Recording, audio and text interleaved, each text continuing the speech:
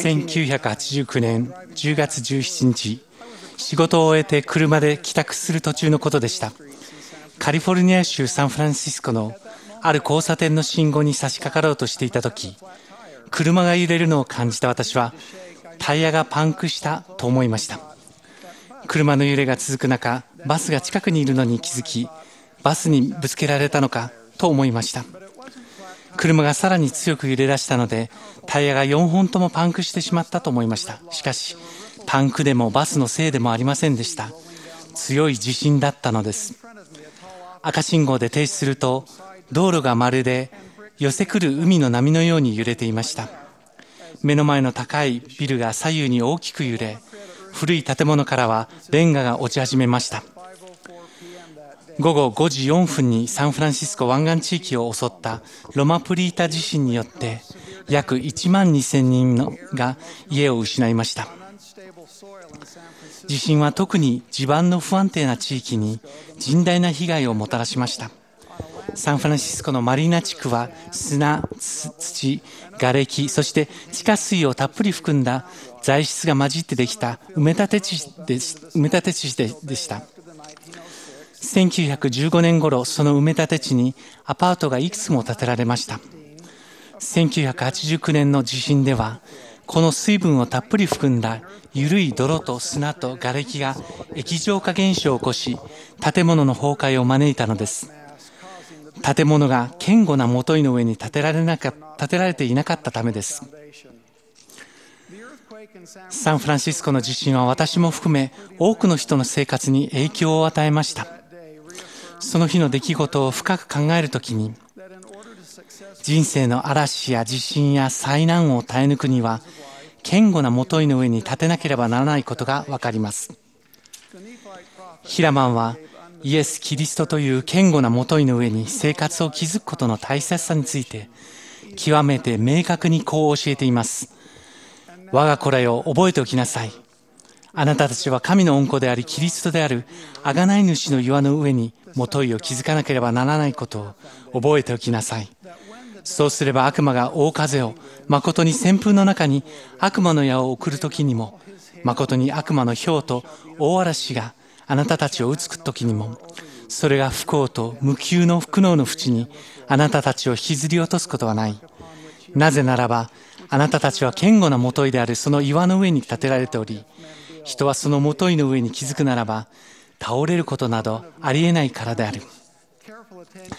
神殿を建設するときは、デザイン、構造、建設資材に入念な注意が払われます。神殿建設予定地の土壌と地質を綿密に調査します。その地域の風、雨、天候の変化を調査して、神殿がその地域特有の嵐や気候に耐えられるようにするだけでなく、予期せぬ地震、台風、洪水、その他の自然災害にも耐えられるように神殿は設計され、位置を決められているのです。コンクリートや鋼鉄の杭が地面深くまで打ち込まれ、神殿の基礎を揺るぎないものにしています。愛と思いやりに満ちた天の恩地と恩子は、私たちが確固として揺らぐことのない生活を築くことができるように、設計図、道具、資材を用意してくださいました。その設計図こそ救いの計画、すなわち偉大な幸福の計画です。この計画は始まりと終わりと不可欠なステップを明確に示し、理解させてくれます。そのステップには、御父の身元に戻り、永遠に共に住むために必要な儀式が含まれます。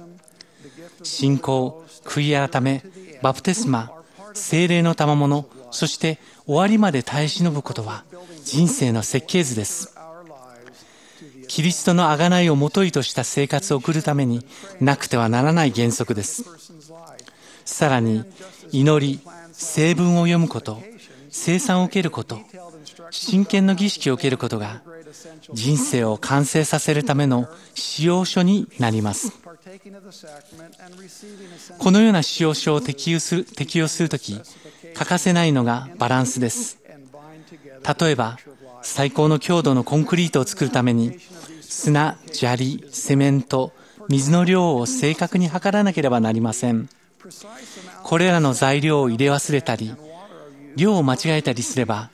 コンクリートは脆くなり、大切な役割を果たせなくなってしまいます。同じように、生活の中で毎日の個人の祈りや成分を味わうこと、毎週生産を受けて強められること、神殿の儀式などの神権の儀式に頻繁に参加することについて適切なバランスを欠いてしまうと、例にも構造上の弱体化を招く危険性が生まれます。パウロはエペソビテへの手紙の中で人格と魂のバランスと調和の取れた成長について次のように教えています。このキリストにあって建物全体が組み合わされ、主にある聖なる宮に成長する。祈りは信仰と人格の土台を作る最も基本的で重要な原則です。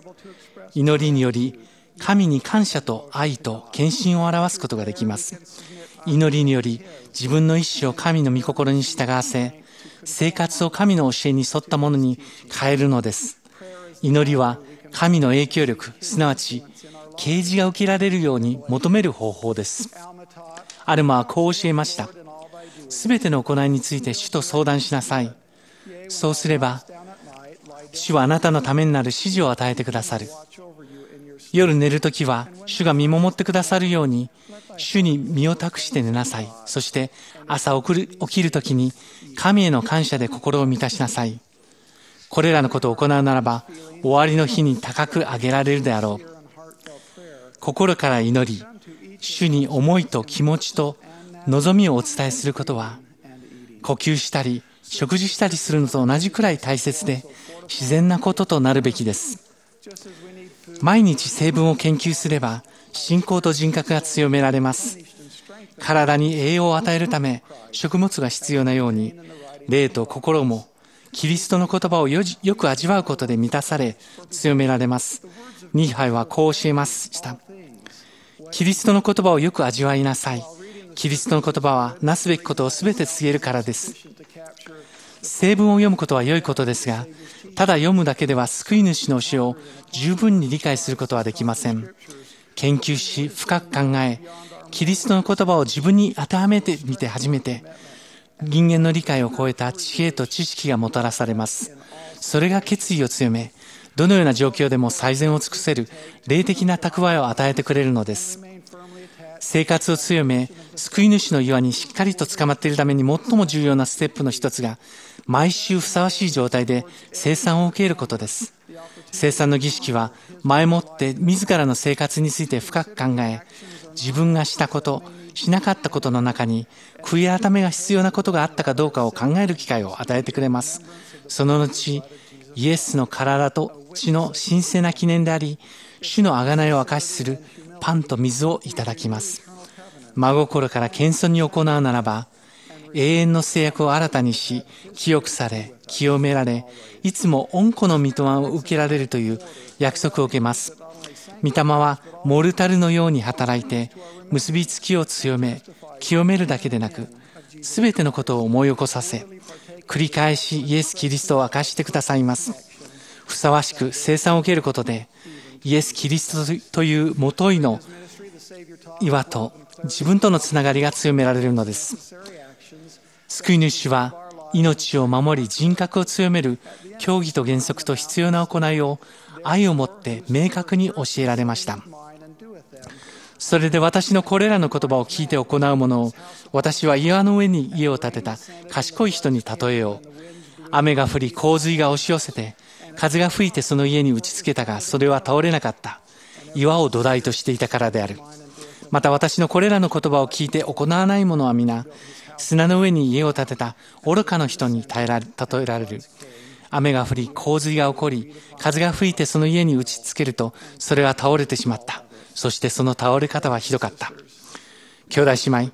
誰でもそれと分かっていながら、砂や砂利の上に、あるいは適切な設計図や資材のないままに、自宅や仕事場や聖なる礼拝の家を建てることはしないでしょう。ご自分のもとに来るようにという主の招きに応えて、安全で堅固な元いの上に生活を築きましょう。イエス・キリストと主の贖いをもといとし、毎日祈り、成分を研究し、毎週生産を受けるならば、強められ、真の成長と永続する改心を経験します。人生の試練や苦難によりよく備えられ、耐え抜くことができ、約束された喜びと幸福を得ることができます。そして自分の生活が決して崩れることない、堅固な元いの上に築かれているという確信を持つことができるようになります。イエス・キリストの聖なる皆により、アーメン。